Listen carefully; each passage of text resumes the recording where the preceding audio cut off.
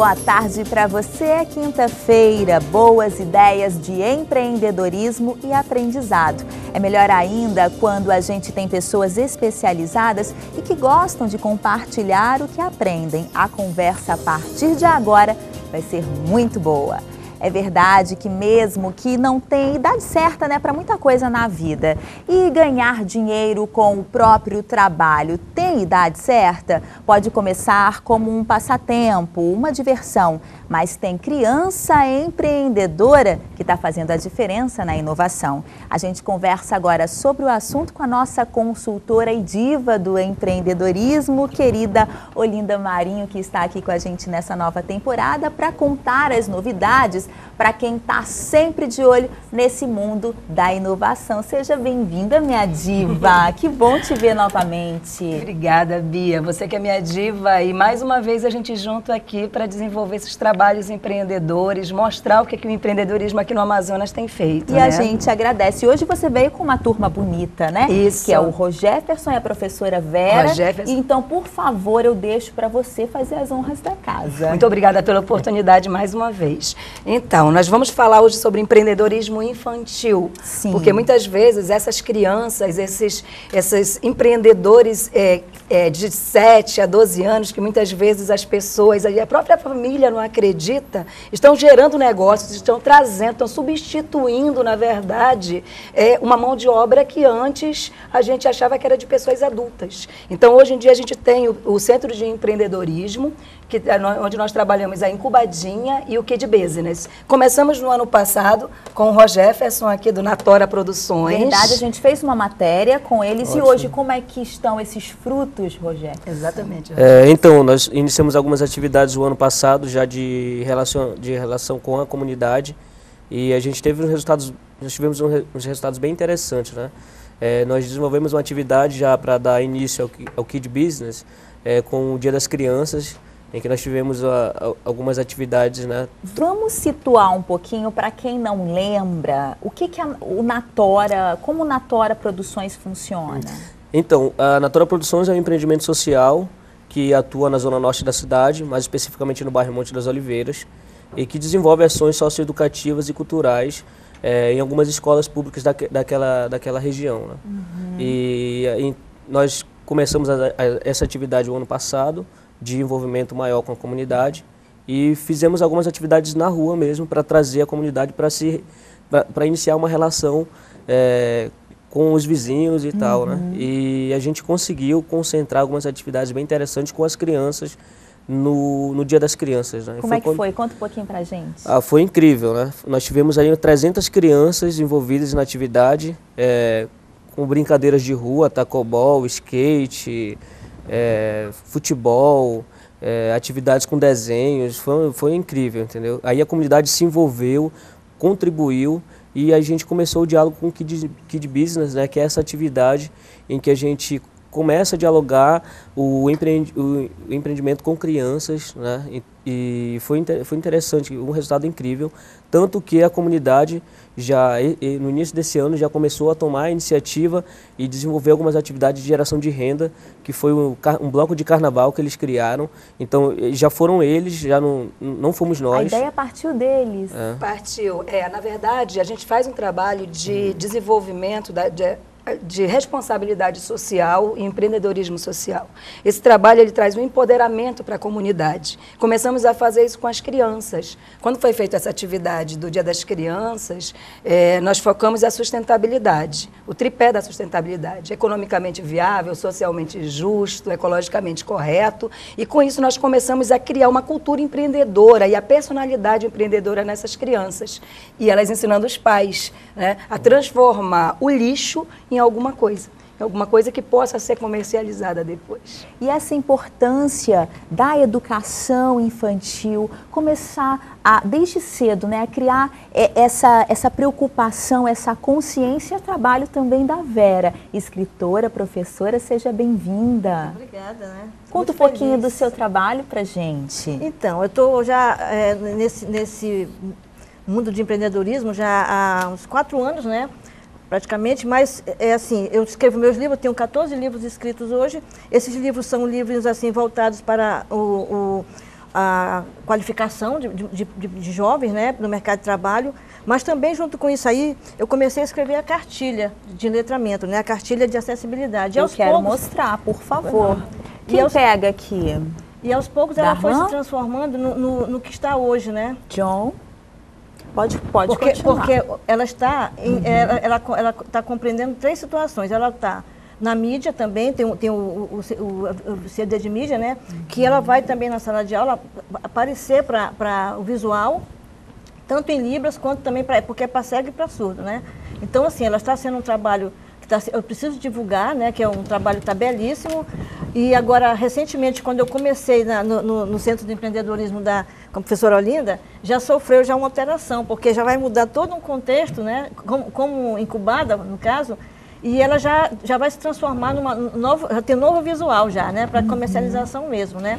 Ela está em libras, mas também ela tá, ela também vai, vai constar no, no, na mídia para o visual, né, para o cego e para o surdo, né? Que bacana, né? E gente, eu queria também já passar para vocês essa obra muito legal, mas que precisa ser divulgada, né, Olinda? Isso. Então, você que quer ser parceiro desse trabalho, é só entrar em contato. Você pode dar o seu número, professora? Claro, com certeza. 99149-4325. A gente precisa produzir e comercializar, né, Olinda? Isso, então, a importância da educação, como você colocou, muito bem colocado, Bia. É, a gente sentiu essa necessidade de desenvolver esse trabalho, onde já estava na Tora Produções, o Centro de Empreendedorismo com o desenvolvimento da Incubadinha e do Kid Business, mas a gente precisou de uma pedagoga que é, é, desenvolvesse, colaborasse com isso, né? de uma forma mais, além de ser lúdica, mas de uma forma onde o aluno, onde a criança, ela continuasse estudando e desse oportunidade também para as crianças especiais.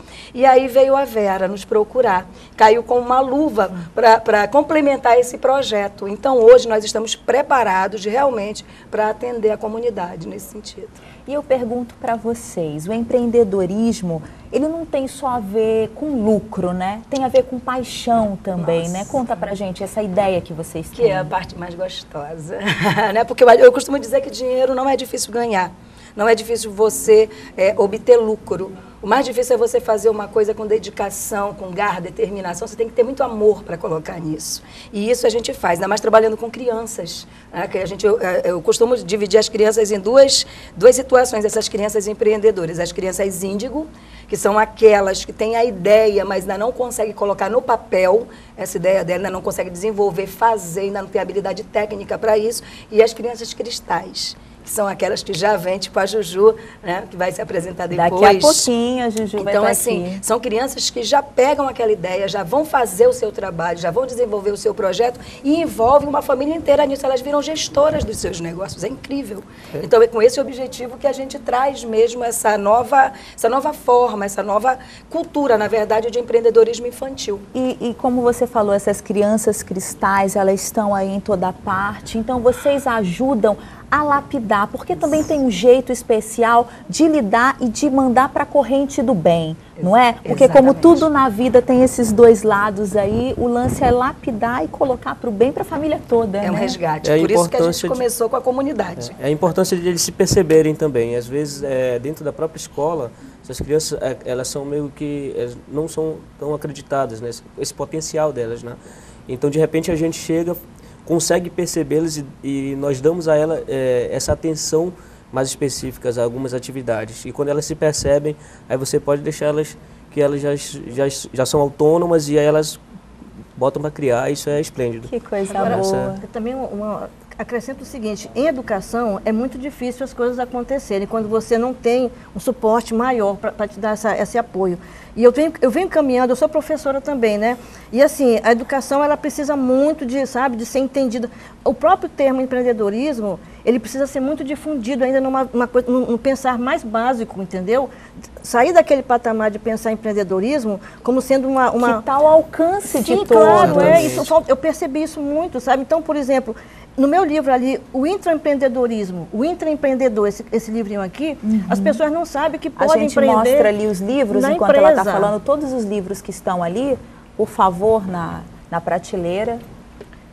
Então, eu trabalho com os três segmentos. Eu trabalho com empreendedorismo individual, com o empreendedorismo organizacional, que é aquele colaborador, o trainee, o estagiário, como é que ele pode empreender dentro da empresa. E eu tenho um material aqui e você acredita que as pessoas não sabem o que é empreendedorismo ainda. Então eu tenho que fazer um trabalho de base para poder acreditarem que, ah, é, porque até então o empreendedorismo fica sendo só uma ideia de de, de comércio, de, de, de, de, uma venda, entendeu? E é por isso que às quintas-feiras a nossa querida consultora Olinda está aqui para a gente levar essa ideia né, e, e trazer para a nossa população, para a nossa comunidade. E é por isso que eu já deixo também o convite sempre aberto a Obrigada. vocês. A gente está aqui para isso, né, Olinda? Isso, Bia, é uma coisa também que ela chamou atenção agora, que é importante destacar, é a questão do intraempreendedorismo, porque nem todo mundo nasce empreendedor. Já está uma pauta para a próxima tá? vez. Então a gente Maravilha. nem vai entrar muito nessa questão, a gente já deixa aí em aberto a gente já pode agendar para mês que vem. Ótimo. Todo mês a Olinda está aqui com a gente.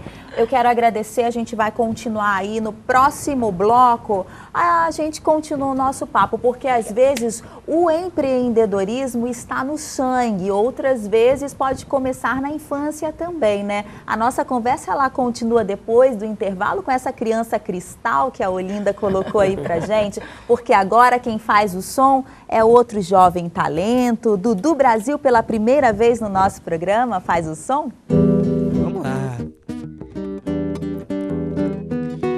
Quando eu não puder pisar mais na avenida, quando as minhas pernas não puderem aguentar, levar meu corpo junto com o meu samba, o meu anel de bamba, entrego a quem mereça usar. Mas quando, quando eu não puder pisar mais na avenida, quando as minhas pernas não puderem aguentar, levar meu corpo junto com meu samba, o meu anel de bamba entrego a quem mereça usar. Eu vou ficar no meio do povo espiando, minha portela perdendo ou ganhando mais um carnaval. Mas antes de me despedir, deixa ao sambista mais novo o meu pedido final. Mas antes de me despedir, deixa ao sambista mais novo o meu pedido final. Não deixa o samba morrer não deixe o samba acabar. O morro foi feito de samba, de samba pra gente sambar. Não deixe o samba morrer, não deixe o samba acabar. O morro foi feito de samba, de samba pra gente sambar.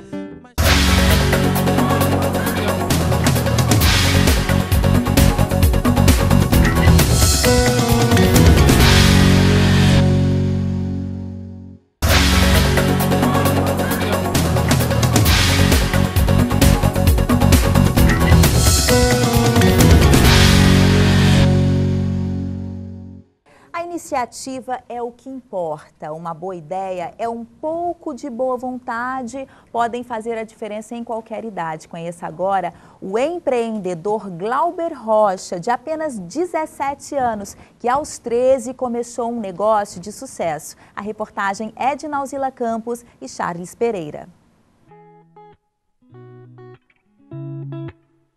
São mais de 5 mil seguidores no Instagram, mais de 40 encomendas por dia e muito sucesso.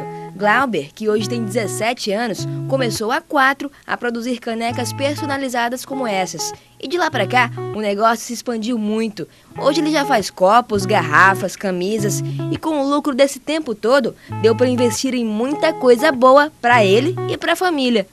Esses quatro anos ao longo, a gente comprou mais máquinas, compramos uma moto para o entregador e o meu carro, que ainda não posso usar porque ainda tem 17, mas meu pai vai usando ele. O pai, Kleber, foi quem deu toda a força para fazer o negócio dar certo. Ele acreditou na capacidade empreendedora do filho e resolveu ajudar nos primeiros investimentos. Tudo começou quando eu estava olhando na internet artigos das minhas bandas favoritas, até que eu vi uma caneca. Aí eu achei legal e fui pedir pro meu pai. Só que como meu pai não gosta muito de comprar as coisas pela internet, ele mandou eu dar uma olhada na internet para ver como é que fazia uma caneca.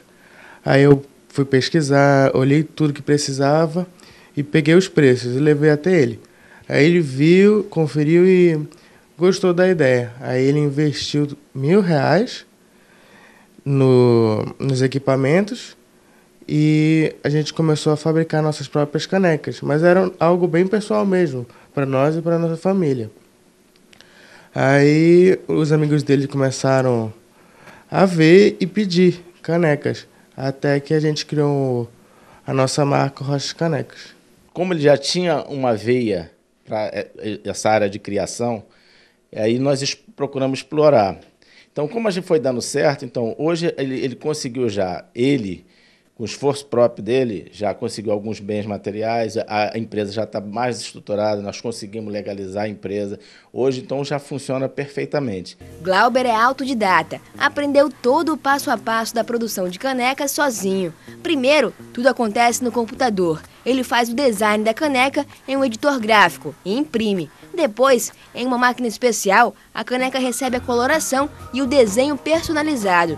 Alguns minutos depois, ela fica pronta, mas o manuseio deve ser feito com cuidado, porque a temperatura logo após sair da máquina é de cerca de 180 graus. Depois de todo esse processo que você aí de casa acabou de ver, o meio de revista também ganhou um presentinho. A nossa caneca personalizada ficou pronta.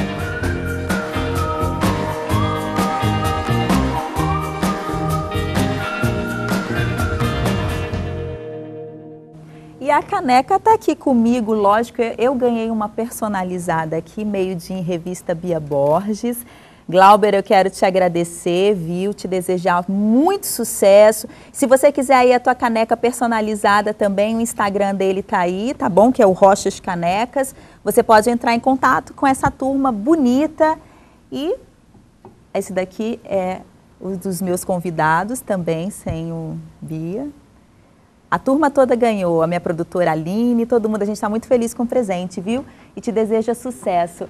Olinda, é muito bom, né, ver esses jovens em, empreendedores, não é, no nosso estado. É, e eu te pergunto, o que, que realmente precisa para ser um empreendedor? Uma boa ideia, garra, determinação, vontade e no caso deles, dos empreendedores infantis, o apoio da família é muito importante. Você vê que aqui a gente conversou é, é, durante o, todo o tempo essa, essa, esse envolvimento da família na comunidade hum, lá, né, com o pessoal da Tora. Exatamente. A gente viu aqui também com Glauber, o pai dele que incentivou e que participou. E a mesma coisa acontece com as nossas lindas convidadas agora, porque a gente conversa com essas duas aqui. Essa pequena, como é criança cristal, que é ela a Juju. É cristal, com certeza, a Juju. É a ela cristal. Já... Ela me falou que desde sempre você gosta de cozinhar, né, Juju? Conta Sim. pra gente. Desde sempre, desde pequena eu já gostava sempre de cozinhar, por influência tanto do meu, do meu, da minha avó e do meu pai, porque já cozinham faz muito tempo e são comidas boas. São, e as suas? As minhas também. Mas é, aqui a gente tem o bolo da Juju, não é? Isso, é o bolo da Ju. E o bolo da Ju é só bolo, não? Você gosta de... Eu gosto de fazer tudo. De tudo. tudo. Você começou a fazer o que, principalmente? Eu comecei a fazer bolo de milho, para uma festa da minha tia e da minha avó. Com quantos anos? Nove. Nove anos. E olha que vergonha, eu vim aprender a cozinhar no passado. Não, e eu tô aprendendo a cozinhar agora Não, é, imagina, né? Que legal. E você, você que é a mãe, né? Carla, eu te pergunto, como é que você começou a perceber esse talento e como é que veio essa ideia aí do bolo da Ju? Ela sempre gostou de cozinha, né? Aí ela começou a fazer esses bolos para as tias e uma outra tia sugeriu: por que você não tenta fazer o bolo no pote? Aí nós fomos para casa e ela começou a fazer e eu comecei a levar para vender no trabalho e começou a dar muito certo, muito certo. Todo mundo queria. Aí eu disse: bom, estamos vendo que tem uma, uma coisa boa para a família. Aí eu saí do trabalho e agora estou me dedicando ao bolo da Ju. Então a Ju foi a iniciadora aí de, de todo, todo, esse processo que você largou Quer dizer, você está vendo? É a que conduz a família. O que eu achei Olinda. interessante é que a Ju faz o bolo, a irmã, a irmã ela, tem, ela, Ah. ela, ela conseguiu gerir, ela está gerindo o negócio, porque a irmã dela de 14 anos faz a venda. É a que mais vende. É um negócio em a- É um negócio em é- família. Isso. A irmã Eu quero dela é- mostrar aqui. Eu tô, eu tô aqui de olho, gente. Esse daqui é o de prestígio. Tá todo mundo aqui da equipe de olho, mas eu acho que eu vou comer só. Não sei se eu vou dividir. né? O Darlan tá ali, galináceo de olho, né? Todo mundo. Olha que bonitinho. tem de cupuaçu. Tem de cupuaçu, tem mais de quê? Nossa, Ganache. brigadeiro, tem ganache. Hum, muito bom. Eu vou mostrar também, eu quero que você, se você gostou, se você também tá de olho, eu vou mostrar aqui para quem? Pro Liarte. O bolo da Ju, Instagram, dá, dá o contato. O, o telefone é o 98431 8448. Olha que bonitinha essa esse bonequinha da Ju. Ela já é uma boneca, né? Linda. Ela é linda. E a gente está conversando justamente isso para que a Carla estava conversando comigo para a gente tratar é, é, de transformar realmente esse negócio. Vamos para a incubadora lá no Exatamente. Norte. A gente- e, e quem estiver assistindo, quer entrar em contato com você, quer ir para a incubadora, pode? Pode, deve. Então, como é que Tá? faz? Tanto porque a incubadora ela não é só para aluno da instituição, é para colaboradores, para a comunidade. Tanto, tanto se você tem uma ideia ou se você já tem uma empresa, você é um microempresário, você pode nos procurar. Então, lá existem esses projetos, né, para fomentar, para ajudar, para incentivar. Nós essas- temos 105 laboratórios que dão apoio. Por exemplo, no caso da Ju, você vai precisar de uma nutricionista depois para te ajudar. A gente vai precisar fazer todo um trabalho da. Anvisa, né, para melhorar isso, uma produção melhor. Tem que aumentar a tua capacidade produtiva. Então, tudo isso a gente, a gente te orienta lá através dos nossos O professores. meio-dia, realizando encontros prósperos, eu fico muito feliz. Olha, eu Foi quero agradecer, sejam sempre bem-vindos. Ju, você é linda, parabéns Obrigada. pelo talento, parabéns por ter dado uma guinada na família, né? Porque você está vendo o quanto você mudou, né? Que Deus abençoe esse talento, que você Obrigada. continue aí, que você volte trazendo muitas novidades pra gente. Parabéns, Carla, pela Obrigada. criança que você tem, pra- por essa linda menina. Minha diva, obrigada. Obrigada Hoje o programa foi bonito, amor. não foi não? Maravilhoso, Com grandes lindo, talentos. E a lindo. gente volta então para falar no, no, no próximo empreendedorismo, interempreendedorismo. Intraempreendedorismo, Né? Então a gente exatamente. vai trocar essas figurinhas aí. E, gente, a gente agora vai pro ritmo do samba com o Dudu, que no próximo bloco eu converso com ele. Vamos lá? Bora! Securuminha viver novos tempos. Vim pra lagoa aprender batucar Tocar cavaco, violão e flauta. Surdo, pandeiro, banjo e ganzá. Ter bandolhinha, gogô e tamborim. Vim pra lagoa aprender batucar Nasci na terra que Deus consagrou. Sou manauara, curumim de fé minha água é doce, meu rio Amazonas. Tem carnaval, também tem boi bumbá. Sou o futuro de um Brasil decente. O nosso verde vamos preservar. Nosso teatro é arte que fascina. Alô, você venha valorizar. Vamos botar esse Brasil pra frente. Para esse mundo se globalizar. Então vem, vem, vem, vem pra Lagoa do Curumi. Preservar e tocar com carinho o caminho que Deus deu pra mim. Vem, vem, vem, preservar com dedicação. Instrumento de corda ou de couro, lá vou eu com a viola na mão. Securuminha viver novos tempos, pra lagoa aprender batucar. Tocar cavaco, violão e flauta, surdo, pandeiro, banjo e ganzá. Ter bandolhinha, gogô e tamborim, pra lagoa aprender batucar.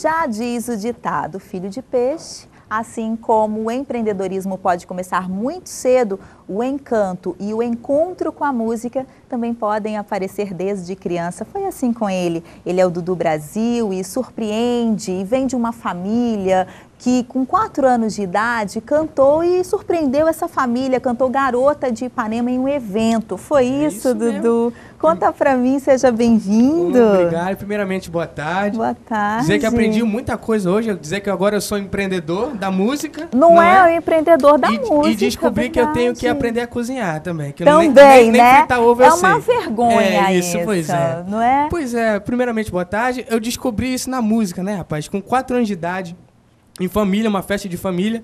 Eu cheguei a ver um cara tocando teclado lá, falei, rapaz, quero cantar nesse negócio aí. Eu lembrei de uma música que um tio meu tinha me ensinado, que era justamente Garota de Ipanema, um clássico da nossa música popular brasileira, né? Aí eu cheguei lá, pedi o tom, eu pedi Fá maior, o cara nem sabia, né? Eu fiquei menino, moleque, pedindo tom, Fá maior, né, pô? Aí eu fui lá, cantei, todo mundo se surpreendeu porque não sabia que eu cantava, né? Você é uma simpatia muito querido, estou muito feliz de recebê-lo aqui pela Obrigado. primeira vez no programa. E eu te sempre um prazer. pergunto, samba, pagode, qual que você prefere? Qual que é o teu ritmo preferido? Para onde você vai? Rapaz, é o samba, né? Na verdade, o pagode, dizem que o pagode é um gênero musical, mas na verdade o pagode é sinônimo de festa, né? De reunião de sambistas, reunião de amigos, né? Ou seja, o samba é, é samba. É, um, é, é o ritmo brasileiro, né? O que toca hoje em dia, que se chama de pagode, é samba. Pagode é um encontro de, de amigos, encontro de, de sambistas, né?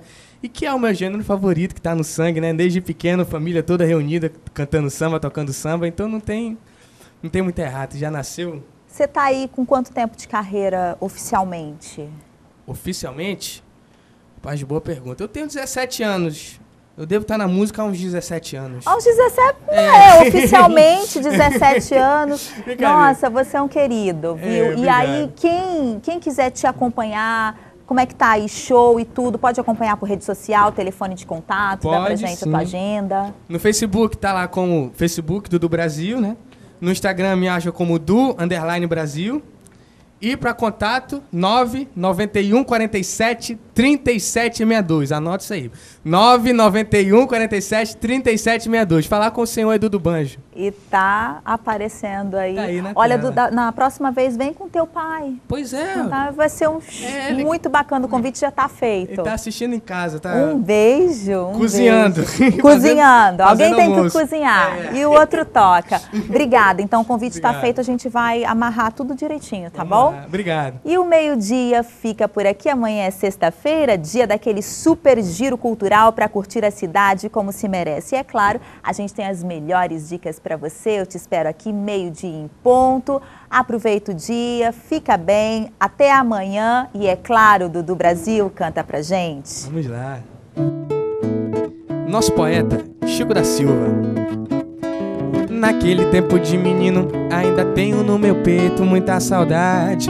Roda peão, estilingue no pescoço, papagaio pra soltar. Mamãe me acordava cedo, menininho toma banho, vai se arrumar. Eu vou ficar ali vigiando e no caminho da escola você vê se dá um jeito de não se sujar. E sempre com os meus amigos, uma chegada na lagoa não fazia mal, só no sapato, hein? E não faltava bate-bola no campinho, improvisado no quintal.